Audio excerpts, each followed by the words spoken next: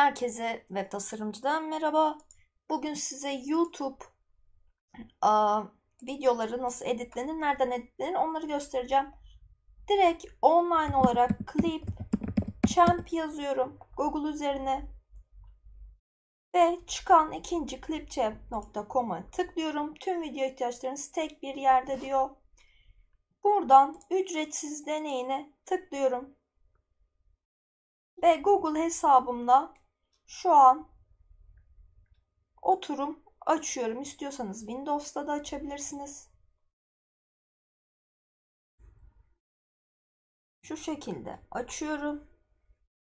Ne için? İçerik üreticisiyim. Diğer diyorum.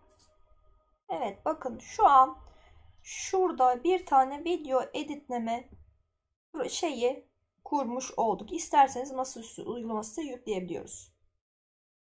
Buradan yapabilecekleriniz bakın. Ücretsiz kullanabileceğiniz şablon, YouTube şablonları, sosyal medya, açılış kapanış bu şekilde video editlerinizi burada yapabilirsiniz. Ben ne dedim? YouTube video editleme şuraya YouTube diye tıkladım. Ve bir sürü şablon çıkıyor. Bakın intro, outro, açılış, kapanış. Bu şekilde kendime açılış, kapanış şey yaparım. Soru cevap, kılavuzlu video şablonu. Şöyle diyelim ki ben kapanış kartı. Bunu seçtim. Bu şablonu kullan diyorum. Şöyle şu an hepsi yükleniyor. İçe aktarılıyor.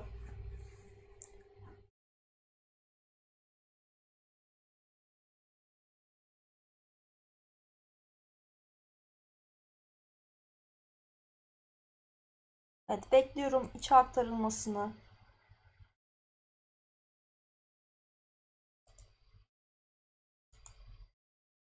Biraz uzun tamam açıldı.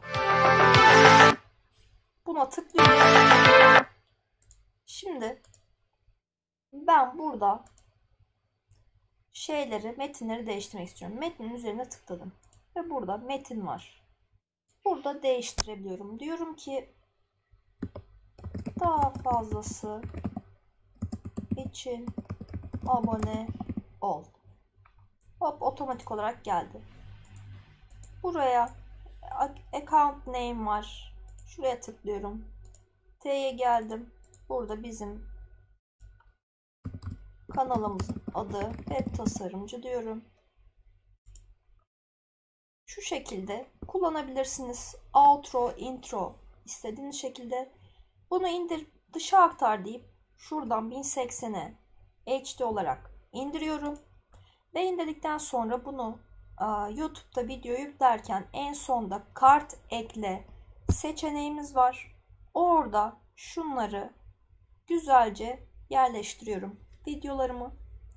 Bu şekilde outrolarınızı ücretsiz ve basit bir yolla yapabilirsiniz. İzlediğiniz için teşekkür ederim. Abone olmayı unutmayın. Diğer derslerde görüşmek üzere.